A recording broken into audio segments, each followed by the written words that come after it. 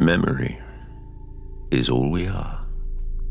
A vast patchwork of moments that define us. Everything that shaped our existence. But my own memory is fracturing. Inside this corrosive and degenerative brain, there are holes now. Please, make this stop. Make this stop. I want to remember. I'm becoming nothing.